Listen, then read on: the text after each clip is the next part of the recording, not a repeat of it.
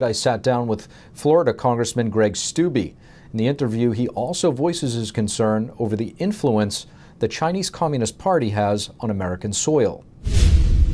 Congressman Greg Steube, thank you so much for joining us. Yeah, thanks for having me. I want to ask you about uh, gun laws that are looking like things are shaping up in the Senate uh, bipartisan. You have uh, over 10 potential uh, Republican senators that have agreed to the framework uh, for new gun laws. First of all, how do you think we got to this point, and more importantly, what is in uh, these potential laws? We got to this point as a country for a lot of different myriad of uh, events and things that have happened over years. Uh, one, we have an epidemic of fatherless homes. Um, there's statistic after statistic of rapists. 75% of them are without fathers. We have a real epidemic, and it's in the home here in our country, and that's what we should be focused on.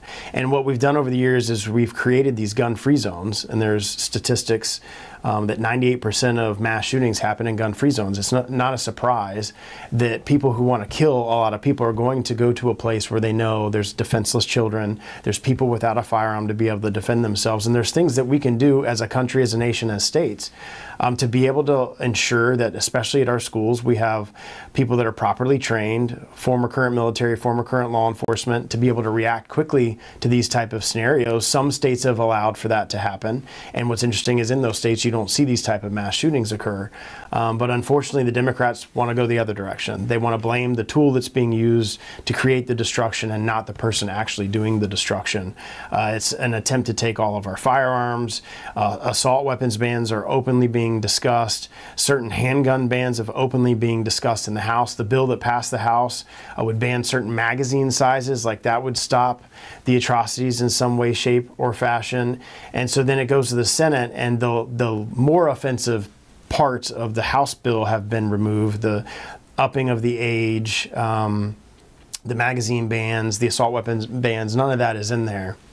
But you have things like the red flag laws. You have things that are a clear violation of our constitutional rights.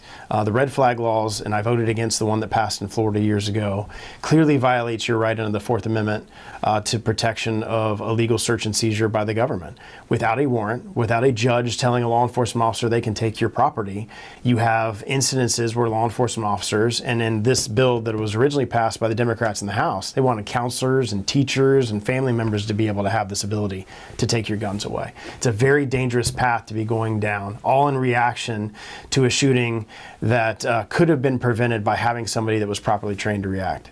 Congressman, you touched upon uh, gun-free zones, and you also said if people were properly trained in Uvalde, it could have prevented it. We're seeing reports now that um, that the officers were there, but they did not use their guns. Uh, if this is true, and yet we're seeing a big knee-jerk reaction to what happened there, it's almost like um, these laws are, are, based on a false premise. It's absolutely, and it's always how the Democrats use it. Uh, you, you, know, the 30 people that were shot last weekend in Chicago, they don't care about that for some reason. They only care about using these mass shootings to be able to, to talk and have that narrative of, well, it's the gun's fault. We shouldn't have semi-automatic rifles. We shouldn't allow for, for what they call high-capacity magazines. We shouldn't allow all of these things.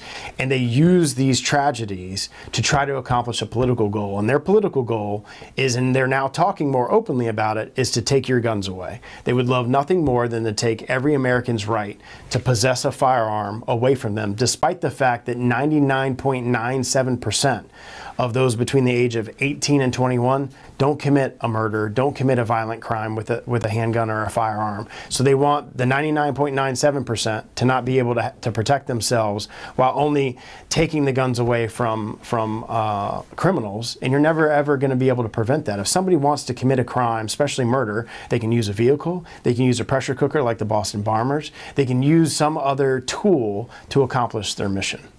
Congressman, just switching gears a little bit, there's reports coming out now that the CCP backed groups, the Confucius Institutes that have infiltrated many of our universities throughout the uh, country, um, are starting to pop up. They were being shut down at one point by the Trump administration, and they're just rebranding themselves. You have a bill that you've introduced called the Protecting Higher Education from Foreign Threats Act.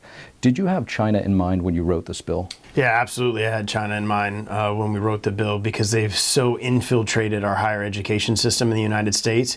We've even seen incidences in Florida where professors have been compromised, uh, where we've had research in institutes like the Moffitt Cancer Center, where their higher executive level individuals were actually uh, being paid to give research information on cancer research to the Chinese Communist Party. So it's a real issue that I think our country is facing that's not really being addressed.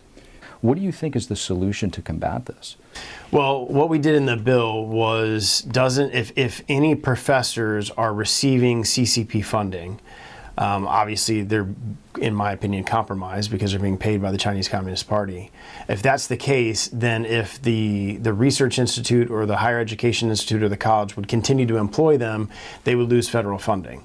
So obviously a good stick that we have at the federal level is the amount, the, the, the huge amount of funding that these colleges and universities receive. And that's really the only way you're going to get them to be compliant, um, is trying to take away the resources they get from the federal government. You could probably pass a bill mandating that you can't can't employ people that are also being paid by the Chinese Communist Party, and most of these, especially the Harvards and Yales of the world, would probably just ignore it.